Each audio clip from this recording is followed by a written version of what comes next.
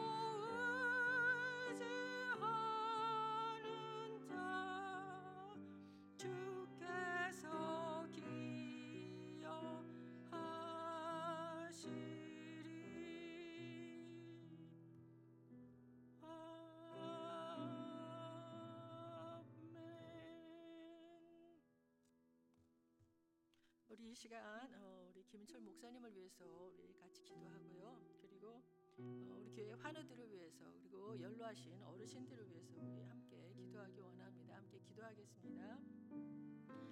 하나님 아버지 지금 김철 목사님 하나님 집에서 아버지 하나님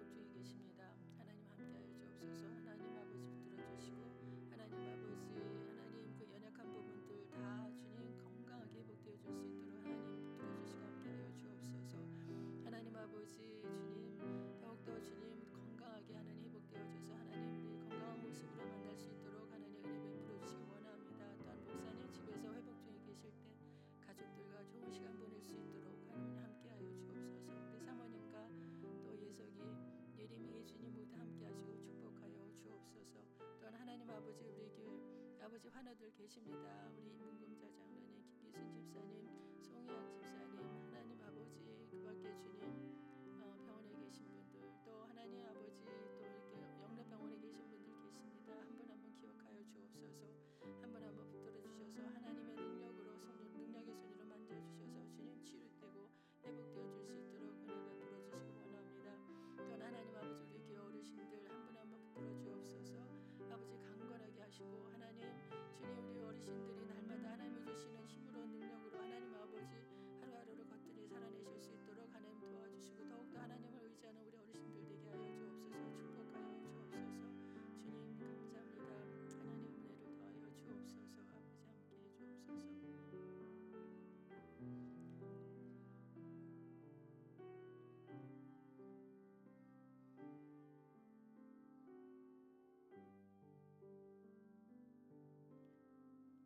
하나님 아버지 김철 목사님 위해서 기도드립니다.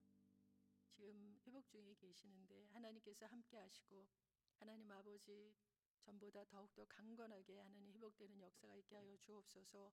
하나님 아버지 목사님 약한 부분들 하나님 만져주시고 하나님 아버지 더욱더 주님 건강하게 하나님 붙들어 주시길 원하옵니다. 또한 하나님 아버지 회복하는 기간 동안 우리 목사님 어, 그 어, 가정이 더욱더 주님 또 주님 안에서 또 어, 복된 그런 삶 그런 시간들이 될 수 있도록 축복하여 주옵소서. 우리 김현진 사모님 또 예석이 예림이 예수님 모두 축복하시고 하나님 아버지 목사님 집에 계시는 동안 하나님 전에 갖지 못했던 또 가정의 그런 아름다운 화목을 또 더 좋은 시간을 가질 수 있도록 축복하여 주옵소서. 또한 아버지 하나님 우리 교회 하나분들 계십니다. 하나님 아버지 한 분 한 분 찾아가 주시고 만나 주시고 만져 주옵소서. 그래야 하나님 아버지 주님의 그 능력으로 치유되고 회복되는 역사가 있도록 하나님 은혜를 더해 주시기 원합니다. 또 아버지 우리 교회 어르신분 어르신들 하나님 아, 많이 연로하신 분들 많이 계십니다. 하나님 아버지 우리 연로하신 분들도 주님 축복하여 주시기 원합니다. 하나님 아버지 하루하루의 삶 속에서 주님이 주시는 힘으로 또 기력을 더해 주셔서 하나님 아버지 우리 어르신들이 날마다 주님 의지하는 가운데 하나님 하루가 기쁘고 아버지 하루하루 승리할 수 있도록 주님 은혜를 더하여 주옵소서 감사하고 예수님의 이름으로 기도드립니다. 아멘. 오늘 함께 어, 나눌 말씀은 빌립보서 4장 8절에서부터 13절까지입니다. 빌립보서 4장 8절에서 13절까지의 말씀 어, 한절 한 절 한 절 교독하고요. 끝절 같이 읽겠습니다. 어, 끝으로 형제들아 무엇에든지 참되며 무엇에든지 경건하며 무엇에든지 오르며 무엇에든지 정결하며 무엇에든지 사랑받을 만하며 무엇에든지 칭찬받을 만하며 무슨 덕이 있든지 무슨 기림이 있든지 이것들을 생각하라. 너희는 내게 배우고 받고 듣고 본 바를 행하라. 그리하면 평강의 하나님이 너희와 함께 계시리라. 내가 주 안에서 크게 기뻐함은 너희가 나를 생각하던 것이 이제 다시 싹이 남이니 너희가 또한 이를 위하여 생각은 하였으나 기회가 없었느니라. 내가 궁핍함으로 말하는 것이 아니니라. 어떠한 형편에든지 나는 자족하기를 배웠노니 나는 비천에 처할 줄도 알고 풍부에 처할 줄도 알아 모든 일 곧 배부름과 배고픔과 풍부와 궁핍에도 처할 줄 아는 일체의 비교를 배웠노라 같이 읽겠습니다. 내게 능력 주시는 자 안에서 내가 모든 것을 할 수 있느니라. 아멘. 어, 빌립보서 4장 어, 오늘 본문 바로 앞절에서는 어, 너무나도 유명한 말씀이죠. 어제 목사님도 이렇게 같이 말씀 나누셨는데 아무것도 염려하지 말고 어, 다만 모든 일에 기도와 간구로 너희 구할 것을 감사함으로 하나님께 아뢰라. 그리하면 모든 지각에 뛰어난 하나님의 평강이 그리스도 예수 안에서 너희 마음과 생각을 지키시리라고 하는 말씀으로 어, 우리가 어떻게 하나님의 평, 강을 얻을 수 있는지에 대한 말씀이 있었습니다. 그리고 이어지는 오늘 본문 8절에서는 지금까지 언급하지 않았던 여러 가지 덕목들을 이야기하고 있는데 어, 이 덕목들 역시 어떠한 처지와 상황에서도 성도들의 삶 가운데 나타나야 할 중요한 덕목들로서 영적, 도덕적 완전함에, 완전함에 이르게 하는 것이라고 할 수가 있습니다. 8절을 읽어보겠습니다. 끝으로 형제들아 무엇이든지 참되며 무엇이든지 경건하며 무엇에든지 오르며 무엇에든지 정결하며 무엇에든지 사랑받을 만하며 무엇에든지 칭찬받을 만하며 무슨 덕이 있든지 무슨 기림이 있든지 이것들을 생각하라. 어, 여기서 끝으로라고 하는 말은 어, 더욱이라고 하는 뜻으로 이제부터 아주 중요한 이야기를 할 것이라는 짐작을 하게 해줍니다. 무엇이든지 참되며 여기서 참되다고 하는 말은 생각이나 말 그리고 행위를 포함한 삶의 모든 측면에서 진실하다는 뜻입니다. 어, 이 말씀에는 어떤 위선이나 거짓이 없는 것을 어, 말합니다. 그리고 경건 경건하면은 정신을 값싸고 천박한 것에서 고상하고 선하고 도덕적인 가치를 지닌 것으로 승화시켜 주는 것을 말합니다. 어, 옳다라고 하는 것은 개인과 하나님과의 관계에서 옳다는 뜻이며 또 정결하다고 하는 것은 인생의 모든 영역에서 영역에서 순수한 것, 즉 동기와 행위에서 순결이라는 개념입니다. 또 사랑을 받을 만하다고 하는 것은 사람과 하나님을 기쁘게 하는 행위를 가리키며 또 칭찬받을 만하다고 하는 것은 고상한 행동을 함으로써 좋은 평판을 얻는 것을 말합니다. 한편 여기 덕, 어, 덕에 대해서는 어, 덕을 헬라어로는 아레테라고 하는데 그, 이 의미는 인간의 미덕으로서 탁월, 우수라고 하는 뜻으로 어, 뜻이고 또 기림이라고 여기서 나와 있는데 여기 기림은 어, 칭찬이라고 하는 뜻으로 도덕적으로 칭찬받는 것을 말하고 있습니다. 바울은 우리 삶의 모든 영역에서 지금 언급한 덕목들을 생각하라고 말합니다. 공동 번역에서는 생각하라를 마음속에 품으십시오라고 번역해 놓았습니다. 바울은 빌립보 교인들에게 참되고 경건하고 옳고 정결하고 사랑받을 만하고 칭찬받을 만하고 어, 이러한 덕목의 그 고상한 가치를 숙고하고 마음속에 품으라고 권면합니다. 빌립보 교회는 외부의 핍박과 내부엔 분쟁이 에, 있었습니다. 이로 인해서 빌립보 교인들이 증오와 복수심에 사로잡혀서 평강을 잃어버리며 살지 않도록 어, 위에서 열거한 고상한 가치들과 덕목들의 생각을 집중시키라고 권면하는 것입니다. 이렇게 생각하라고 권면한 바울은 이제 생각을 넘어서 그것을 행하라고 말합니다. 너희는 내게 배우고 받고 듣고 본 바를 행하라. 그리하면 평강의 하나님이 너희와 함께 계시리라. 헬레니즘 문화는 모든 것이 철저히 관념화되어 있었습니다. 그래서 헬레니즘 문화의 그 영향 아래 있는 빌립보 교인들의 신앙도 관념화되기 쉬운 상태였습니다. 그래서 바울은 그들을 향해 행하라는 구체적인 실천에 대한 도전을 던집니다. 그런데 바울은 그냥 행하라고 하지 않습니다. 자신의 삶 전체를 빌립보 교인들에게 본보기로 제공을 합니다.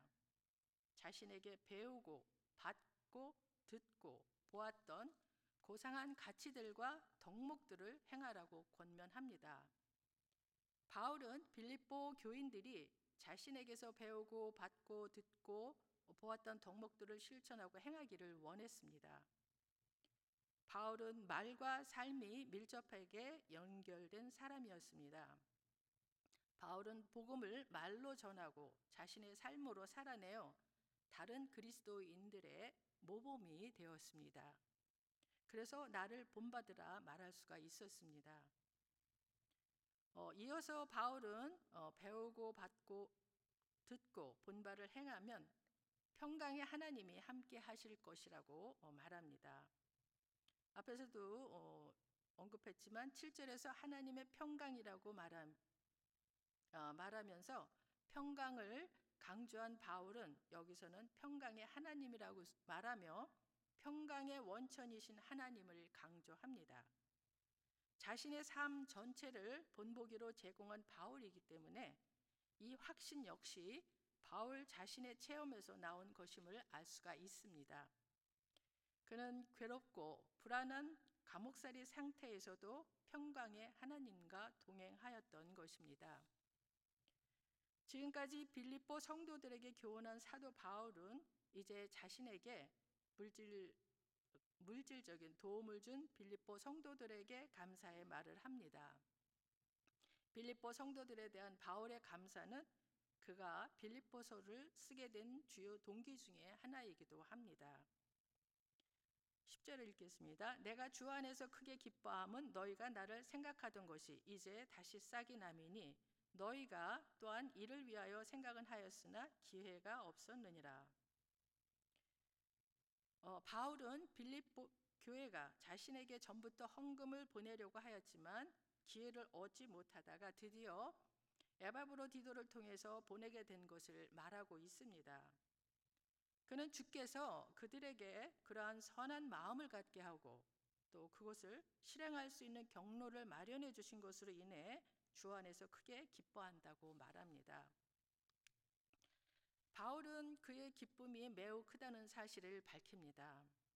바울이 기쁨에 대한 자신의 경험을 양적으로 표시하고 있는 곳은 이곳뿐입니다.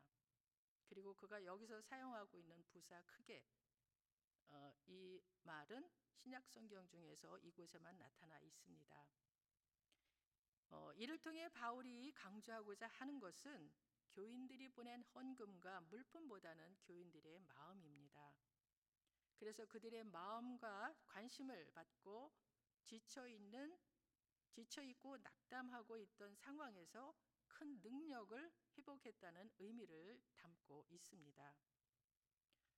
어, 이어지는 어, 11절에서부터 13절은 또 너무나도 유명한 성경 구절이면서도 바울이 깨달은 신앙의 비밀이 여기에 담겨져 있습니다. 먼저 11절 12절을 보겠습니다. 내가 궁핍함으로 말하는 것이 아니니라 어떠한 형편에든지 나는 자족하기를 배웠노니 나는 비천에 처할 줄도 알고 풍부에 처할 줄도 알아 모든 일 곧 배부름과 배고픔과 풍부와 궁핍에도 처할 줄 아는 일체의 비결을 배웠노라. 어, 바울은 자신이 궁핍함에 대한 불평을 토로하는 것이 아니라고 말합니다. 여기서 궁핍함은 필요함, 부족함, 가난함을 의미합니다. 바울은 자신이 어떠한 형편에 처하든지 자족하기를 배웠기 때문에 궁핍이 문제가 되지 않는 삶을 살았다고 말합니다. 궁핍을 궁핍으로, 궁핍으로 여기지 않는 마음이 바울에게 있었습니다. 궁핍이라고 하는 객관적 상황은 있었지만 궁핍에 대한 궁핍에 처한 바울의 자세는 자족하는 것이었습니다. 계속해서 바울은 비천에 처하는 방법도 알고 풍부에 처하는 방법도 안다고 말을 합니다. 비천에 처해도 지나치게 염려하거나 낭망하거나 비굴해지지 않고 물질적으로 풍부하게 되어도 자만하고 방심하여 타락하지 않는다는 것입니다.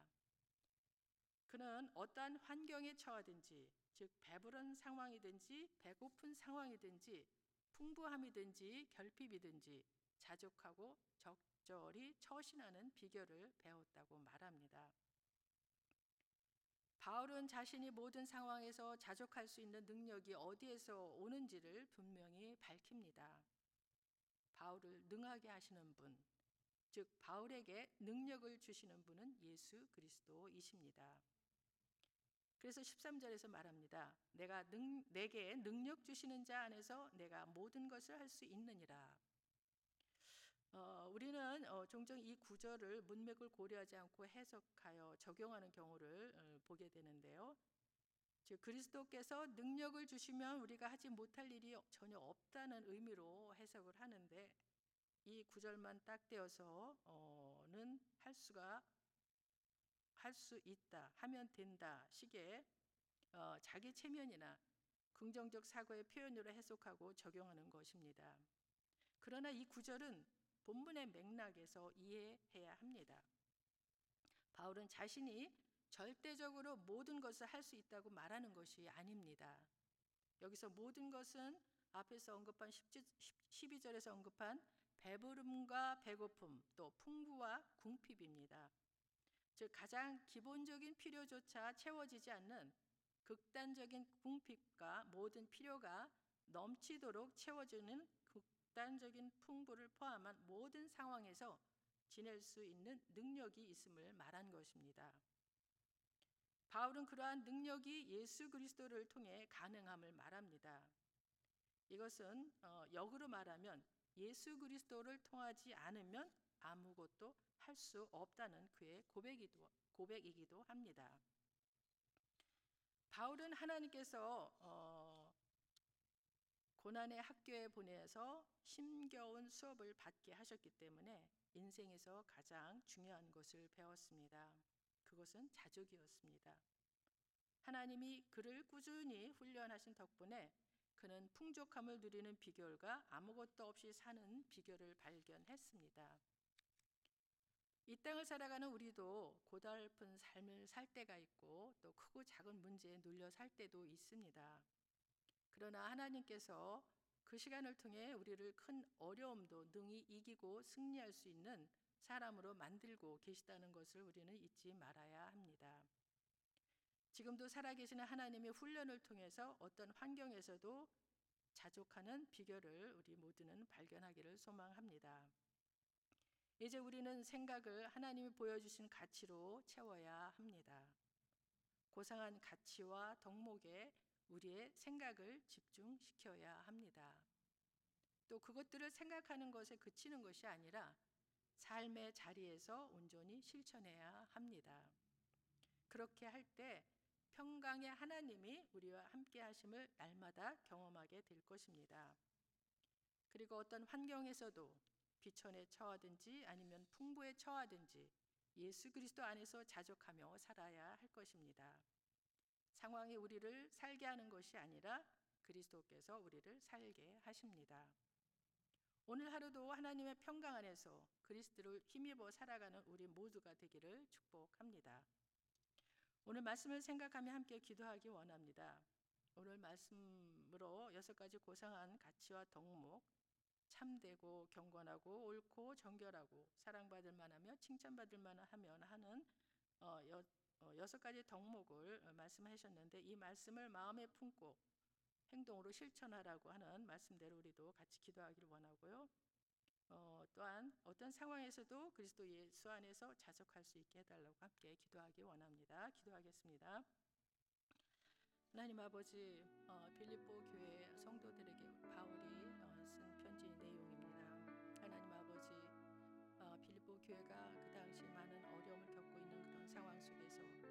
하나님 아버지 외적인 그런 아버지 어려움과 또 내 내면에서도 교회 내에서도 어려움이 있었습니다. 하나님 아버지 그러한 빌립보 교인들에게 아버지 하나님 어, 사도 바울은 그들에게 행동의 지침 또 덕목을 이렇게 제시하면서 그걸 마음에 품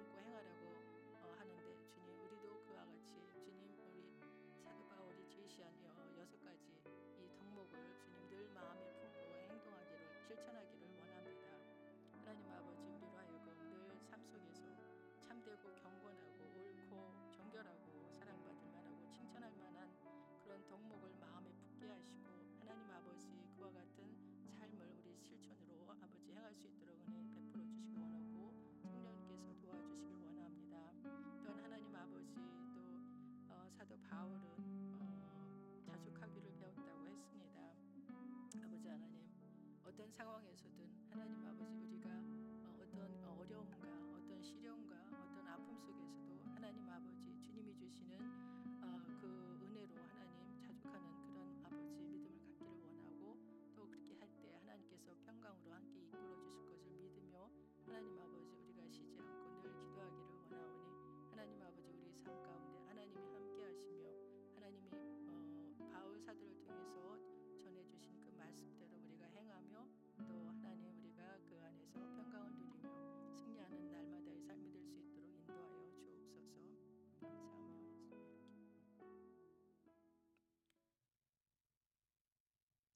하나님 아버지 사도 바울이 빌립보 성도들에게 여섯 가지 덕목을 열거하며 그 덕목들을 마음에 품고 그 본을 보인 사도 바울 자신을 보고 배운 대로 행하라는 권면을 들었습니다.